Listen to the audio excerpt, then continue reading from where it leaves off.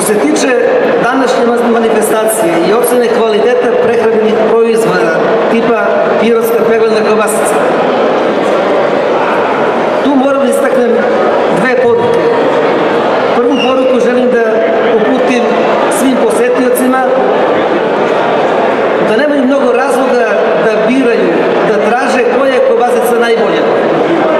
Sve kobasice koje su bile zaista su imale dobar, zavidan kvalitet. Sve su ocenjene sa najnižom ocenom vrlo dobro. Šta god to za vas da znači. Dakle, samo oni koji imaju instančan osjećaj za ukus, ako žele više da bude ljuto, više da bude sa lukom ili nešto slično, oni mogu da traže neki proizvod koji ima takve karakteristike. Ali svi su zaista bili zadovoljavajući, rekao bih, odlično.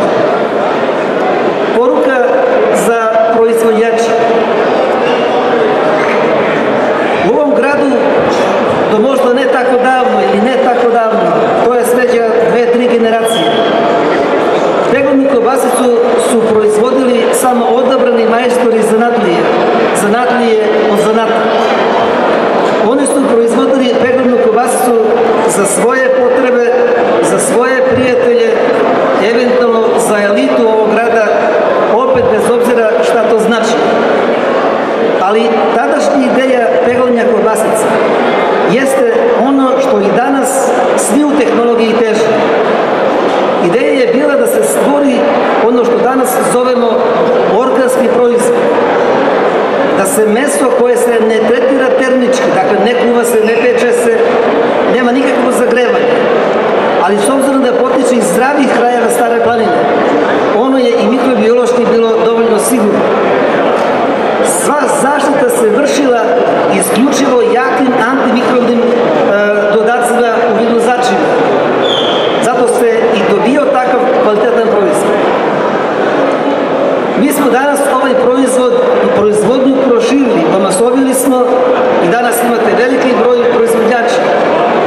Nisu to sve majstori od zanata, ali se zaista bave proizvodnjom jednog ovakvog proizvoda. S tim u vezi imam poruku za njih. Oni moraju da shvate da ovakva masovna proizvodnja preti da se izgubi onaj osnovni osjećaj i značaj peglane pirotske kobasice. Zapamtite dobro, pirotska peglana kobasica nije industrijski proizvod, nije proizvod koji će se ujutru deci davati za doručak uz jogurt. Pirotska peglana kobasica je delikatesan proizvod. Ne jede se uvek i ne jede se stalno i ne jede se u velikim količinama. To je proizvod za uživanje. Kao takav ga treba koristiti kao takav treba negovati njegovu tradiciju proizvodnje.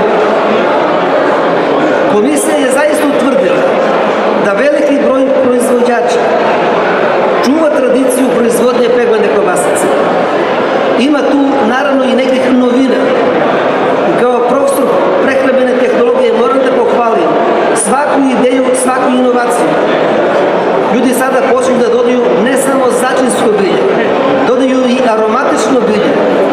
To daje ukusu proizvoda zaista specifičnosti.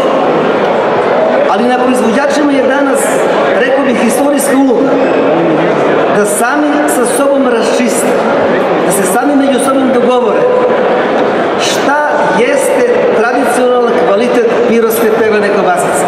Šta se dodaje, šta se ne daje. To može da se uradi jedino organizacijom